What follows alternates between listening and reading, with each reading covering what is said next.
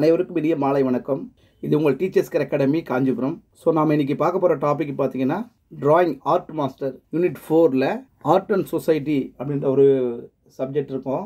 அதில் ஃபேமஸான அரங்க நிர்மாண கலைகளை பற்றியும் ஸோ ஆர்ட் டைரக்டர்களை பற்றியும் ஆர்ட் சொசைட்டியில் இந்த கார்ட்டூனிஸ்டாக ஒர்க் பண்ண கார்ட்டூனிஸ்ட் ஃபேமஸானவங்க யார் யாருன்னு பற்றி இருக்கோம். ஸோ நம்ம பார்க்கும்போது பி வி ராமமூர்த்தி ஆர்கே லட்சுமினான் பாபு ஓ. விஜயன் அப்படின்ட்டு இந்திய லெவலில் மிகச்சிறந்த கார்ட்டூனிஸ்ட்லாம் யார்?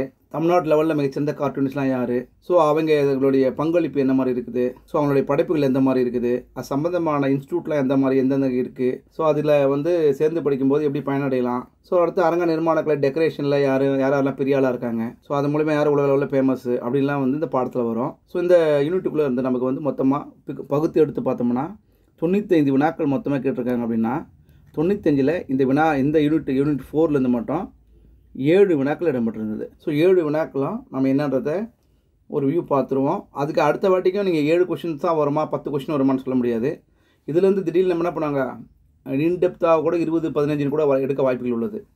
ஸோ அந்த மாதிரி நம்ம பார்க்க வேண்டியது இருக்குது ஸோ நம்ம இப்போ பார்க்கலாம். சரிங்களா டீச்சர்ஸ்? பார்த்தீங்கன்னா பிரபலமான ஜெமினி படப்பிடிப்பு தளத்திற்கு அடையாள சின்னம் வரைந்து ஆயிரத்தி தொள்ளாயிரத்தி நாற்பத்தேழில் மறைந்த கேலி சித்திர ஓவியர் அப்படின்னு கேட்குறாங்க. ஜெமினி ஸ்டுடியோ அப்படின்றது. நம்ம வந்து இருக்குன்னே நம்மளுடைய மெட்டீரியலில் ரொம்ப எக்ஸலண்ட்டாக கொடுத்துருந்தோம். ஸோ வந்து மாலி என்ற மகாலிங்கம் அப்படின்ட்டு ஸோ உங்களுக்கு இந்த கொஷின்ஸ் கரெக்டாக வந்திருந்தது. ஸோ இது பார்த்தீங்கன்னா டிஆர் மகாலிங்கம் மாலி என்ற புனைப்பெயரால் நன்கு அறியப்பட்டவர். சுதந்திரத்துக்கு முந்தைய காலத்தில் இந்தியாவில் தமிழ்நாட்டில் இருந்த ஒரு ஓவியர் மற்றும் கார்ட்டூனிஸ்ட் அப்படின்னு இருக்கும். ஸோ இதில் வந்து பார்த்தீங்கன்னா இவர் வந்து இந்தியாவில் இருந்த ஓவியர் இல்லையா? அதாவது தமிழகத்தில் இருந்த ஓவியர் இல்லையா? ஸோ இதில் வந்து நிறைய பேர் இருக்காங்க. கிட்டத்தட்ட வந்து நமக்கு வந்து ஒரு முப்பது பேருக்கு மேலே இருக்காங்க. ஸோ அவ்வளோ அவ்வளோ பேர் பற்றி நம்ம தெரிஞ்சுக்கலாம். அதே மாதிரி இதில் பார்த்தீங்கன்னா அவரை பற்றி கேட்குறப்போ பாரதியாரும் ஒரு முதல் கார்ட்டூனிஸ்ட் ஸோ அந்த கொஸ்டின் நமக்கு போன முறை கேட்டிருந்தாங்க. ஸோ இதெல்லாம் வந்து புது பாடத்தில் பாரதியார் ஒரு கார்ட்டூனிஸ்ட் இந்த புது பாடத்தில் இப்பெல்லாம் கொடுத்துருக்காங்க. சரிங்களா? ஸோ இவர் வந்து கடைசி காலத்தில் வந்து முடக்குவாத்தால் பாதிக்கப்பட்டார். அதனால் இந்த மாலி என்றவர் இரு கைகளாலும் வரைவதற்கு கார்ட்டூனிஸ்ட் வரைவார் இரு இரு கைகளாலும் வலது வட வட இடது வலது ரெண்டு கையிலையுமே வரையக்கூடிய அளவுக்கு ஃபேமஸாக பெரிய ஆள் ஆனார். ஸோ கடைசி இறக்கும் தருவாயில் கூட முடக்குவாதத்தில் இருந்தபோது முடங்கி போகாமல் ஸோ கார்ட்டூனிஸ் ப்ராப்ளமாக வரைஞ்சி இன்னும் பெரிய ஆளாக இருந்தார். சரிங்களா? ரைட்டுங்களா இது வந்து நம்ம மாலின்றது பார்த்தோம். ஸோ மற்ற எல்லாம் கிட்டத்தட்ட ஒரு முப்பது பேரை பற்றிய ஒரு சின்ன மினி புக்ஸ் ஆகும் ஒரு ஒன் ஃபிஃப்டி கொஸ்டினாக பார்த்தா போதுமானது. ஸோ உங்களுக்கு அதுக்கான ப்ராசஸை உங்களுக்கு பண்ணி கொடுத்துறோம். சரியா? ஸோ அடுத்ததா Indian institute of fine arts IIFA அப்படின்னு இருக்கு இல்லையா? அது வந்து எங்கே எந்த மாநிலத்தில் அமைந்துன்னு கேட்டிருக்காங்க. ஆக்சுவலி போன முறை கொடுத்த கொஸ்டினில் இது தப்பு. இந்தியன் அப்படின்னு வராது. இன்டர்நேஷ்னல் அப்படின்னு வரணும். So so international institute of fine arts அப்படின்னு வரணும். ஸோ வந்து உத்தரப்பிரதேசில் மோடி நகரில் காசியாபாத்தில் இருந்து இருக்குது. கிட்டத்தட்ட ரெண்டாயிரத்துலேருந்து செயல்படுது. ஸோ நாம் வந்து இது வந்து கொஷின் போன முறை ஸ்டார் கொடுத்துருந்தாங்கன்னு நினைக்கிறேன். எனக்கு அக்யூரேட்டாக தெரியல இப்போ ஞாபகம் இல்லை எனக்கு. So Uttar Pradesh confirm so Indian institute of fine ஆர்ட்ஸ்னு ஒன்று இருக்கா அப்படின்னு கேட்டிங்கன்னா இப்போ பெங்களூரில் இருக்குது. இதனோட இப்போதைக்கு இந்த இந்தியன் இன்ஸ்டியூட் ஆஃப் ஃபைனான்ஸ்னு இப்போ வந்து ரெண்டாயிரத்தி பதினெட்டில் பெங்களூரில் இருக்குது இப்போ ஒன்று ரெடி பண்ணியிருக்காங்க. இந்த பெங்களூரில் இருக்கிறது வந்து ராகேஷ் சர்மான்றவர் வந்து ரெடி பண்ணியிருக்காரு. ஸோ ரெண்டாயிரத்தி பதினெட்டில் இப்போ இந்தியன் இன்ஸ்டியூட் ஆஃப் ஃபைனான்ஸ்னு கேள்வி கேட்டால் அது பெங்களூரில் இருக்குன்னு தெரியணும் பெங்களூர்லேருந்து இன்னொரு கொஸ்டின் கேட்டிருந்தாங்க நமக்கு. அது என்னன்னு பார்த்தீங்கன்னா நம்மளுடைய இந்திய கார்ட்டூனிஸோட ஹெட் ஆஃபீஸ் எங்கன்னு கேட்டிருந்தாங்க. அது பெங்களூர். அதுவும் நம்ம இந்த கொஸ்டின்லேயே இந்த இன்ஸ்டியூட்லேருந்து வந்து நம்ம கொடுத்த கொஸ்டின் கரெக்டாக வந்துடுச்சு. ஸோ இந்த இந்த யூனிட்டில் ஏழு யூனிட் ஏழு கொஸ்டினை பொறுத்த வரைக்கும் ஏழுமே நம்ம கொடுத்த கொஸ்டின்ஸ் வந்துச்சு. அதனால் அடுத்த முறைக்கு என்ன கொடுப்பாங்கன்றது நமக்கு கரெக்டாக தெரியும். ஸோ உத்தரப்பிரதேசில் காசியாபாத்தில் சர்வதேச நுண்கலை ஐஐஎஃப்ஏ இருக்குது அப்படின்றது உங்களுக்கு தெரிஞ்சுக்கணும். ஸோ பத்து ஏக்கர் லேண்டில் இருக்குது இது. லண்டன் யூனிவர்சிட்டியோட இன்னொரு முறை கேட்டால் இந்த ரெண்டாயிரத்தி ப இருபத்தி ரெண்டு டு இருபத்தி மூணு ஏதாவது கொஷின் கேட்பாங்களா சார் அப்படின்னா இந்த லண்டன் பல்கலைக்கழகத்தோடு இணைஞ்சு ஐஐஎஃப்ஏ காசியாபாத் வந்து இணைந்து ப- செயல்படுகிறது. பல்வேறு ஆசிரியர்களை இங்கே வந்து விருந்தினர் அழைக்கிறது அப்படின்னு தெரிஞ்சு வச்சுருக்கோம். அதே மாதிரி சவுத் தரன் சிங் பல்கலைக்கழகத்தோடு இணைந்த கலைத்துறையில் டிப்ளமோலாம் இது வந்து கொடுக்குது. ஸோ இப்போ நம்ம எப்படி ஒரு யூனிவர்சிட்டியில் படிக்கும்போது நம்ம மெட்ராஸ் யூனிவர்சிட்டி பாரதிதாஸ் யூனிவர்சிட்டி சொல்கிறோம் இல்லையா? அந்த மாதிரி சௌத்ரி சரண் சிங் யூனிவர்சிட்டியோடு இணைஞ்சிருக்கிறது க- உத்தரப்பிரதேசில் சரிங்களா?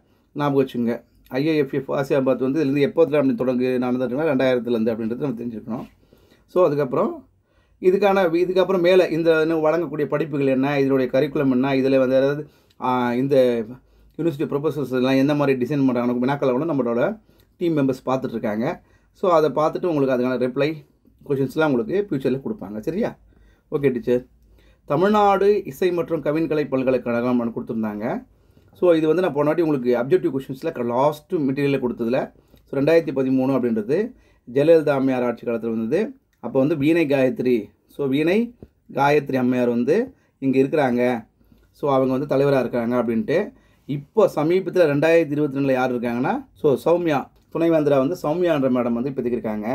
ஸோ இதை பற்றி வந்து தமிழ்நாடு இசை மற்றும் கவின்கலை பல்கலைக்கழகமாக தொடங்கப்பட்டது. ஸோ இது வந்து நவம்பர் மாதம் பதினாலாம் தேதி. சொல்ல மறந்துட்டேன். நவம்பர் மாதம் பதினாலாம் தேதி.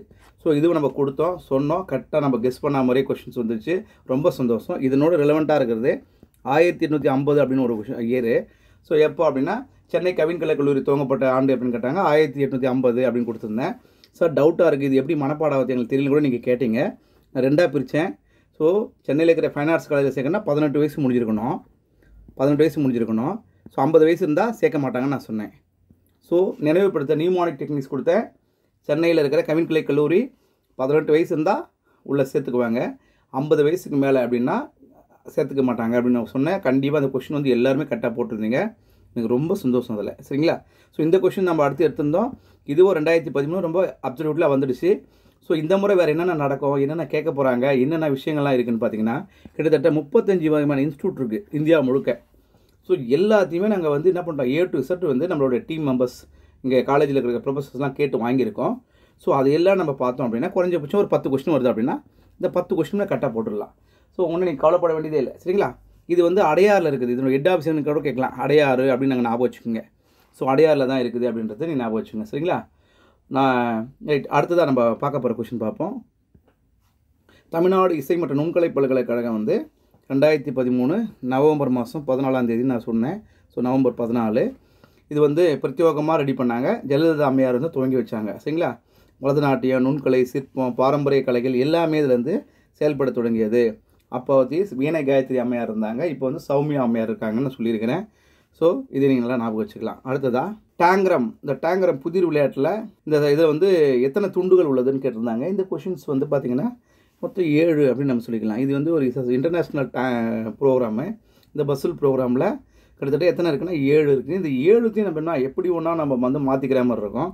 இந்த டேங்கரம்ன்றது பார்த்திங்கன்னா இங்கே பார்த்திங்களா இது வந்து சீனாக்காரன் கண்டுபிடிச்சது. ஸோ ஏழு இருக்குது அப்படின்றது. வெவ்வேறு உடைய துணியில் கொண்ட புதிர் பலகை. இல்லை ஐந்து துண்டுகளாக இப்போ இருக்குது அப்படின்னு பார்த்தீங்கன்னா இதில் வந்து இதே மாதிரி தான் இருக்கும். இந்த ஏழும் அப்படிலாம் ஒன்றும் இல்லை. பிக்சரில் இருக்குது படங்களில் இருக்குது நிறைய எல்லா விதமான மாடலும் இருக்குது. கிட்டத்தட்ட கிட்டத்தட்ட இது எழுபத்தஞ்சி மாடலில் இருக்குது. ஆனால் எல்லாத்துக்கும் பேசிக் இந்த ஏழு தான் அப்படின்ற மாதிரி கொடுத்துருக்காங்க. ஸோ அதனால் ஏழுன்றது ரொம்ப அப்சல்யூட்டு கரெக்டாக கொடுத்துருந்தாங்க. ஸோ இந்த மாதிரி கொஷின்ஸ் இந்த வருஷம் எப்படி சார் வரும்? சார் இப்போ நம்ம படிக்கிறோம் இல்லையா? ஸோ ரெண்டாயிரத்தி இருபத்தி ரெண்டு இருபத்தி மூணு மாதிரி கொஷின் வருமா சார்னா கண்டிப்பாக வரும். அதுக்கும் பாருங்கள் ஒரு ரெலவெண்ட்டான வச்சுருக்கேன். இந்த மாதிரி ரூபிக் க்யூப்ஸ் அப்படின்னு ஒன்று இருக்குது வச்சுங்களேன் இந்த ரீபுக் இந்த ரூபிக் க்யூப்ஸில் நீங்கள் எத்தனை விதமான டைமண்ட் உள்ள உங்களுக்கு வரையும் போது தெரியும்னு கேட்பாங்க. பாருங்கள் இந்த பக்கம் ஒம்பது இருக்குது இது ஒரு ஒம்பது இருக்குது இது ஒம்பது இருக்குது மொத்தமே இருபத்தி ஏழு அப்படின்னு நீங்கள் சொல்லணும். ஸோ இந்த அகாடமிக்கில் ரெண்டாயிரத்தி இருபத்தி ரெண்டு டு இருபத்தி மூணில் எதாவது கேட்பாங்க சார் கொஷின் அப்படின்னா? ஸோ இதில் எத்தனை இருக்குது ரூபிக் க்யூப்ஸு மாணவர்களுடைய புதிர் விளையாட்டான ரூபிக் கியூப்ஸில் எத்தனை விதமான விஷயத்தை நீங்கள் வரைவீங்கன்னு கேட்கலாம். ஸோ வரைஞ்சால் இருபத்தி ஏழு மொத்தமாக எத்தனை லேயர் இருக்குது அப்படின்னா முப்பத்தி மூணு இருக்குது. ஸோ மொத்தமாக ஒம்பது ஒம்பதுனா ஐம்பத்தி நாலு இருக்கும் மொத்தம் இதில். ஸோ நம்ம பார்த்து வரைகிறப்ப எத்தனை கடை தெரியும் அப்படின்னு பார்த்தோன்னா ஒம்பது ஒம்பது ஒம்பது இருபத்தேழு நீங்கள் ஞாபகம் வச்சுக்கணும். சரியா? Okay teacher. இந்த மாதிரி கொஸ்டின் கேட்கறதுக்கும் வாய்ப்புகள் உள்ளது. ஸோ இது ரிலவெண்ட்டாவோ இந்த வேறு ஏதாவது ப்ராசஸோ இல்லை இந்த தந்தி பே பேப்பர்லலாம் காட்டுவாங்களே சிறுவர் மலரில். ஸோ அதில் வர பஸ்ஸுல்ஸ் விளையாட்டோ ஸோ இந்த மாதிரிலாம் கொஷின்லாம் கேட்பாங்களா அப்படின்னு கூட நம்ம என்ன பண்ணுறோம் ரிசர்ச் பண்ணி ஸோ நம்ம ஸ்டாஃபுங்கிட்டலாம் டிஸ்கஷன் பண்ணி அந்த மாதிரி வினாக்களும் உங்களுக்கு ஆட்டோமேட்டிக்காக டைமண்ட் பண்ணி வடிவமைச்சிருவாங்க. பயப்பட வேண்டியதில்லை டீச்சர்ஸ் அடுத்து பார்க்கலாமா? ஸோ முதல் முதல்ல தமிழ் பத்திரிகைக்கு கேலி சித்திரத்தை அறிமுகப்படுத்திய கவிஞர்னு கொடுத்துருக்காங்க. ஸோ முதல் முதல்ல தமிழ் பத்திரிகையினுடைய நம்ம என்ன பண்ணுவோம்? போன வாட்டி நம்ம பாரதியார் கொடுத்தோம். ஸோ அது கண்டிப்பாக வந்துடுச்சு நம்ம என்ன பண்ணுவோம்? அப்படின்னா இந்தியா இந்தியான்ற ஒரு பத்திரிகையிலையும் அடுத்ததாக இருக்கிற இதுலேயும் ஒரு பண்ணுவார். ஸோ இதில் வந்து இந்த வாட்டி புது புக்லேயே நியூ புக்லேயே அதை வந்து பப்ளிஷ் பண்ணிட்டுருக்காங்க. ஸோ கேலி சித்திரங்களை வெளியிட்டுள்ளார் அப்படின்றாங்க. ஸோ பாரதியார் பணியாற்றிய இதழ்கள் கருத்து படங்களை கேலி சித்திரங்கள் வெளியிட்டுள்ளார். தமிழ் இலை இல இதழியல் துறையில் முதல்வர் கருத்து படங்களை அறிமுகப்படுத்திய பாரதி தானே அப்படின்னு கொடுத்துருக்காங்க. சரிங்களா? ஸோ இது நான் பார்த்துருக்கீங்க. அப்போ இந்தியா லெவலில் இருக்காங்கன்னா ஆயிரத்தி தொள்ளாயிரத்தி எட்டில் ஒருத்தருக்காரு. ஜெகநேந்திரநாத் தாகூர். இவர் தான் இந்திய கார்ட்டூனிஸ்ட் தந்தை. அப்படி. இப்போ தேசிய கவிஞர் அப்படின்னா அபிநேந்திரநாத் உங்களுக்கு தெரியும் நந்தலால் போஸ் அப்படின்னு தெரியும். ஸோ இது வந்து ககனேந்திரநாத் தாகூர் வந்து அபிநேந்திரநாத் தாகூர் கிட்ட ரிலவெண்ட் சகோதரர். ஸோ இந்த ககேந்திரநாத் ககனேந்திரநாத் தாகூர் வந்து ரவீந்திரநாத் தாகூருடைய தம்பி இல்லை அண்ணன் நீங்கள் நினச்சிக்கலாம். இந்த ககனேந்திரநாத் தாகூர் அப்படின்னு ஒரு இந்திய கார்டூனிஸ் கார்ட்டூனிஸ்ட் ஓவியங்களின் தந்தை என்று அழைக்கப்படுபவர். ஸோ இந்த மாதிரியான விஷயங்கள்லாம் நம்ம என்ன பண்ணலாம்? ரெண்டாயிரத்தி இருபத்தி ரெண்டு டு இருபத்தி மூணில் கேட்க வேண்டிய வினாக்கள் அப்படின்னு நம்ம தொகுத்து பகுத்து என்னன்றதை நமக்கு ரிப்ளை பண்ணி சொல்லுவோம். நீங்கள் அதை கரெக்டாக ஃபாலோ பண்ணிக்கலாம். சரியா டீச்சர்ஸ்? பயப்பட வேண்டியதில்லை நீங்கள் இப்போது இந்தியன் இன்ஸ்டியூட் ஆஃப் கார்ட்டூனிஸ்ட் அப்படின்னு இப்போ கேட்டு சொன்னோம் இல்லையா? ஐஐசி எங்கூர் அப்படின்னு கேட்டிருந்தோம் இல்லையா? இதுதான் பெங்களூர். கோவா மும்பை சென்னை கொடுத்துருந்தாங்க. இந்தியன் இன்ஸ்டியூட் ஆஃப் கார்ட்டூனிஸ்ட் எங்கூர் தான் பெங்களூர்லேருந்து அப்சல்ட் அப்படியே வந்துருச்சு. ஸோ இது மாதிரியான விஷயங்களில் யார் ஃபேமஸ்ஸு வேறு என்ன சொல்லியிருக்காங்க அப்படின்லாம் வந்து கேள்விகள் வரும். ஸோ அதெல்லாம் உங்களுக்கு நம்ம கண்டிப்பாக என்ன பண்ணுவோம்? ஃப்யூச்சரில் நம்ம கிளாஸஸில் வீடியோ கிளாஸ்லையோ ரெகுலர் கிளாஸஸ்லையோ இல்லை உங்களுக்கான டெஸ்ட்லேயோ எல்லாமே ப்ராப்பராக கொடுத்துருவாங்க. ஸோ கண்டிப்பாக எல்லாமே மிஸ் ஆகாமல் வரும். சரிங்களா? அடுத்ததாக நம்ம பார்க்க போகிறோம் பெங்களூர்னா பெங்களூரில் எப்போ அப்படின்னு பார்த்தீங்கன்னா ரெண்டாயிரத்தி ஒன்றில் ஆரம்பிக்கப்பட்டது. பெங்களூரில். இது வந்து லாப லாபமற்ற அமைப்பாக பதிவு செய்யப்பட்டது. அப்போ வந்து பி வி ராமமூர்த்தி வந்து தலைவராக இருந்தார். விஜி நரேந்திர நிர்வாக அரங்காளர் அப்படின்னு இருந்தாங்க. ஸோ இதில் அங்கே ப்ராசஸ்லாம் இருக்குது இதில் வந்து திறந்து வச்சவங்க யாருன்னு பார்த்தீங்கன்னா கர்நாடக ஆளுநர் வி எஸ் ரமாதேவி பெங்களூரில் ஜூன் மாதம் எட்டாம் தேதி ரெண்டாயிரத்தி ஒன்றில் திறந்து வச்சாங்கன்றது இருக்குது சரிங்களா? இதில் வந்து பார்த்திங்கன்னா அப்பயே வந்து பாபு கோபுலு யேசுதாசன் எஸ்கே நாடிக்கெலாம் நம்ம தமிழ்நாடு சேர்ந்தவர்கள்லாம் அப்பயே வந்து கார்ட்டூனிஸ்ட் அவார்ட்லாம் இங்கே கொடுத்துருக்காங்க. சரியா? ஸோ சமீபத்தில் ரெண்டாயிரத்தி இருபத்தி ரெண்டு வரைக்கும் இப்போ வரைக்கும் எங்களுக்கு கார்ட்டூனிஸ்ட்டுக்கு நம்ம ப்ராசஸ் பண்ணியிருக்கோம். வாழ்நூல் சா வாழ்நாள் சாதனையாளர் விருது யாருக்கு வழங்கப்பட்டுன்னு கேட்பாங்க டீச்சர்ஸ். இங்கே பாருங்கள் ஆர்கே லக்ஷ்மன் இது வந்து ரெண்டாயிரத்தி இருபத்தி ரெண்டு டு இருபத்தி மூணு வர வேண்டிய ஒரு கொஷின் நீங்கள் ஸ்டார்ட் பண்ணிக்கணும். அப்போது உங்களுக்கு வந்து இல்லை ரெண்டாயிரத்தி ரெண்டில் என்ன பண்ணியிருக்காங்க? வாழ்நாள் சாதனையாளர் விருது வந்து யாருக்கு வழங்கப்படுதுன்னா ஆர்கே லட்சுமனுக்கு. ஸோ கார்ட்டூனிஸ்ட் அவார்டு வாங்கியிருக்காருன்னு நம்ம தெரிஞ்சு வச்சுக்கணும். இதையும் மறுபடியும் அவங்க கேட்குறதுக்கு பிரைட்டான வாய்ப்புகள் உள்ளது. ஸோ இந்த தான் இந்த மாதிரி தான் எது வரும் எது வராது எது கண்டிப்பாக நம்ம அப் அட்டன் பண்ண போகிறோம் அப்படின்னு மூணு விஷயம் இருக்குது. ஃபஸ்ட்டு வந்ததை தெரிஞ்சுக்கிறோம். அப்படி இது வரும்னு நம்ம கெஸ் பண்ணுறோம் கடைசியில் கண்டிப்பாக வர வேண்டியதை தொகுத்து ஃபைனலாக படிக்க போகிறோம் அவ்வளோதான் ஒரி பண்ண வேண்டியதில்லை. ஒரி பண்ணாதீங்க டீச்சர்ஸ் அடுத்ததான் இந்திய நாணய குறியீட்டை வடிவமைத்தார். கடைசியாக எக்ஸாம் போகிறதுக்கு முன்னால் சொன்ன ஒரே ஒரு கொஷின் வந்து உதயகுமார் கள்ளக்குறிச்சி சேர்ந்தவர் எம்எல்ஏ தர்மலிங்கனோட சன்னு அப்படின்னு நம்ம சொன்னோம். இவர் வந்து ஆயிரத்தி தொள்ளாயிரத்தி எழுபத்தெட்டில் பிறந்தார். ஆக்சுவலி இவர் வந்து பார்த்தீங்கன்னா படிப்பெல்லாம் பிஆர்க் அப்படின்ற ஒரு படிப்பை அண்ணா யூனிவர்சிட்டியில் முடிச்சிருக்காரு உதயகுமார். ஸோ தற்சமயத்துக்கு இப்போ எங்கே இருக்கிறாருன்னு பார்த்தீங்கன்னா முக்கியமாக கிட்டத்தட்ட பார்த்தீங்க இந்தியாவிலே பெரிய இடத்துல ஒரு அசிஸ்டன்ட் ப்ரொஃபஸராக இருக்கார். Indian institute of technology Indian institute of technology வந்து பாம்பேயில் இருக்குது. இப்போ வந்து அசிஸ்டன்ட் ப்ரொஃபஸராக ஒர்க் பண்ணிகிட்ருக்காரு சரிங்களா? ஸோ இந்த இவர் தான் வந்து இந்திய ரூபாய் நாணய குறியீட்டை வந்து வடிவமைச்சார். கள்ளக்குறிச்சியை சேர்ந்தவர். கிட்டத்தட்ட மத்திய அரசு சொன்ன பெரிய ப்ராஜெக்டே அவர் வந்து என்ன பண்ணுற பெரிய அமௌண்ட்டே வந்து சம்பாரிச்சிருக்காரு. அது இல்லாமல் இப்போ அசிஸ்டன்ட் ப்ரொஃபஸர் வேலையும் அவருக்கு அதனால் கிடச்சிருக்கு. இந்தியா முழுகில் உலகம் முழுவதும் இன்றைக்கி வந்து இந்த ரூபாய் குறியீடு அப்படின்னா இதை வந்து யார் பண்ணாங்க அப்படின்னா தமிழ்நாட்டை சேர்ந்த மிகச்சிறந்த படைப்பாளி நான் டி. உதயகுமார் அப்படின்றவர் தான் அப்படின்னு நம்ம தெரிஞ்சிருக்கணும். இது கடைசியில் கேட்ட கேள்வி. இந்த கேள்விலாம் வருமா சார்னா ஆக்கப்பூர்வமான படைப்பாளிகளை பற்றி எல்லா கொஸ்டினுமே இடம்பெறும் தெரிஞ்சுக்கலாம் நீங்கள் ஸோ இப்போ இந்த இடையில சமீபத்தில் ஜல்லிக்கட்டுக்கு ஃபேமஸ் ஆறு கார்ட்டூனிஸ்டில் ஃபேமஸ் யார்? வந்து இப்போ வந்து இதுவாக இருக்காங்கன்னு கூட கேட்கலாம் சொல்ல முடியாது. இதில் இப்போ வந்து இப்போ சமீபத்தில் பிரபலம் அடைஞ்சவர் யார்? எல்லாம் வரும். ஸோ இதெல்லாம் நம்ம பார்க்க போகிறோம் ஸோ பார்த்து வச்சுக்கிட்டு தெரிஞ்சுக்கணும். அப்போ தான் நமக்கான வேலைவாய்ப்பு உத்தரவாதம் ப- கொடுப்பாங்க. ஸோ ஜூலை பதினஞ்சு ரெண்டாயிரத்தி பத்துன்றது நமக்கு தெரிஞ்சு வச்சுக்கணும். சரிங்களா? இவர் வந்து என்ன சொல்கிறாருன்னா இந்திய தேசிய மூவர்ணத்தை அடிப்படையாக வச்சு நான் ஒரு மைண்டில் கான்செப்ட் பண்ணது தான் ப்ராசஸ் பண்ணேன் அப்படின்றாரு. ஆனால் இந்த வடிவமைப்பு வந்து தேவநாகரி எழுத்தான ராவை அடிப்படையாக கொண்டது இரட்டை கிடைமட்ட கோடு உள்ளது இது லத்தீன் பெரிய எழுத்தான ஆரை ஒத்திருக்கிறது அப்படின்னு கொடுத்துருக்காங்க. ஸோ இதுதான் வந்து கன்ஃபர்மேஷன் ஆகிடுச்சு சரிங்களா? ஸோ இதுவும் நம்ம வந்து கள்ளக்குறிச்சி சேர்ந்தவர் அவருக்கு வந்து வடிவமைச்சர்னு நம்ம தெரிஞ்சிருக்கோம். சரியா? ஓகே இவர் தான் உதயகுமார். இவருடைய குறியீடையும் உங்களுக்காக கொடுத்துருக்கேன். சரிங்களா? சமீபத்தில் இந்தியன் இன்ஸ்டியூட் ஆஃப் டெக்னாலஜி பாம்பேவில் அசிஸ்டன்ட் ப்ரொஃபஸர் ஒர்க் பண்ணுறாருன்னு சொல்லியிருக்கேன். சரிங்களா? எந்த யூனிவர்சிட்டி சேர்ந்தவர்? ஏன்னா ஐஎஃப்எஃப்ஏவா ஃபாரி ஃபைன் ஆர்ட்ஸா இல்லை வேறு எங்கேனாவா அப்படிலாம் தெரியணும் இல்லையா? அதுக்காக தானே பிஆர்க்குன்றது மெட்ராஸ் அதாவது மெட்ராஸில் இருக்க அண்ணா யூனிவர்சிட்டியில் ஒரு படித்து முடிச்சிருக்காரு. Okay teacher? Okay best wishes teacher. நான் என்ன சொல்ல வரேன்னா நீங்கள் நிறைய படிப்பீங்க. கொஞ்சம் ஏஜ் ஆனவங்க கூட இருப்பீங்க. இல்லை ஆர்வம் உள்ளவங்க இருப்பீங்க. இல்லை இந்த வேலை வாங்கியே திறனணும்னு ஆசைப்பட்டவங்க இருப்பீங்க. ஸோ எல்லாருக்கும் நான் தெரி தெரிவிக்கிற ஒரு சின்ன விஷயம் என்னென்னா இப்போ நீங்கள் படிக்கிற படிப்புலாம் நல்லா இதை கேட்கும்போது எனர்ஜியாக இருந்து விஷயங்கள் எப்படி இருக்குன்னா ஒரு பலூன் ஊற்றுறோம் இல்லையா? அந்த பலூனை நல்லா ஊதி ஒரு லிமிட்டுக்கு வச்சுருக்கும்போது ஃபுல்லாக காற்று இருக்கும். அதை கையால் பிடிச்சி வச்சுட்டு நீங்கள் உட்காந்துருந்தீங்க அப்படின்னா அப்படியே தான் உட்காந்துட்டு இருப்பீங்க. ஆனால் கண்டிப்பாக அந்த காற்று போகாமல் இருக்கணும் அப்படின்னா நம்ம என்ன பண்ணோம் அந்த பலூனை சுற்றி நம்ம வந்து ஒரு முடிச்சு போடணும்.